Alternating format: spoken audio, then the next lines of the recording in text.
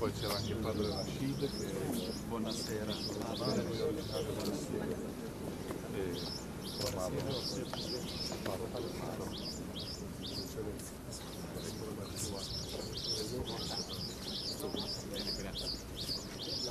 stato bravo ebraismo, cristianesimo e ismo. Giusteus, Pater Omnium. Poi noi siamo arrivati solo all'inizio del Novecento, quando sarebbe la chiusura di una casa fortificata. Però richiama anche un po' quello che l'Italia temporista. Spero che non sia allargato il distretto a seconda del.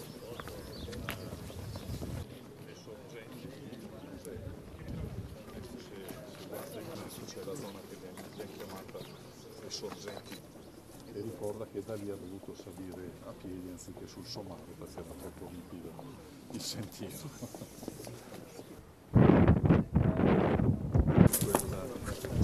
Poggioletto che è quello sul quale è salito anche il II. Da qui, ecco, da qui c'è la vista sulla, sulla valle e praticamente si vede il Mar Morto che è qui sotto, Gerico anche qui sotto, lì sarebbe Gerusalemme, di notte si vedono le luci, da qui, più in giù sarebbe Betlemme, questa zona, ma che poi si sepolti nella valle ma nessuno sa dove esattamente. Noi abbiamo pensato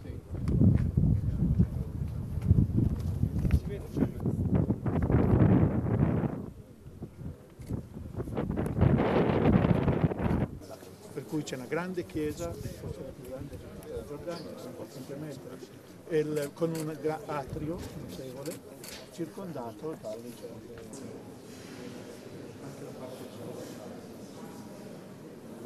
presi un po' quasi tutti dall'Italia, però c'erano anche tedeschi, europei, dove vengono e fanno loro- le loro proposte. Però Michele poi pensa bene di eh, mettere insieme il team degli amici del Netto, che non erano altro che architetti, ingegneri e elementi della, della Basilica. Anche sovrapposti, sì, tutti sovrapposti, anche nella semplicità delle figure geometriche.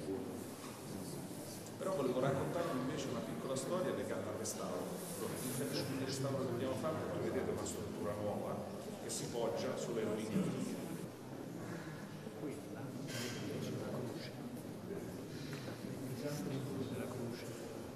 Sono stati trovati solo elementi riusati in questa tomba e nel fonte battesimale, come ha detto Franco. Prima c'è anche un elemento in alabastro riusato. La chiesa prima arrivava solo fino a qua. Questo è un aggiunto.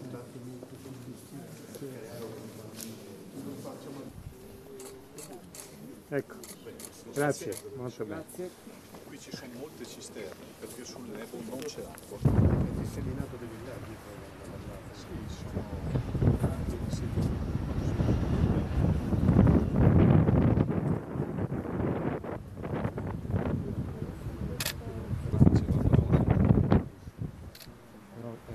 è la Soffia sempre un fascino. discreto.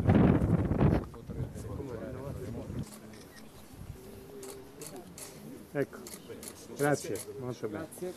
Qui ci sono molte cisterne perché sul Nebo non c'è acqua.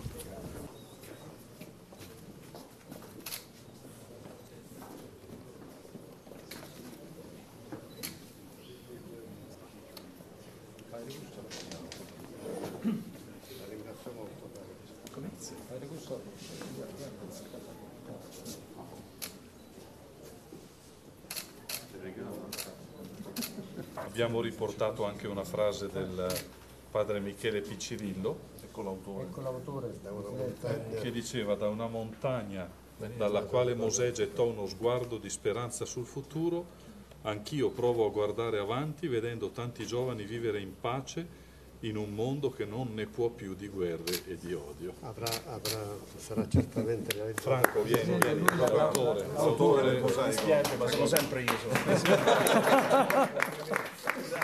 Grazie, un onore veramente farlo. Grazie mille.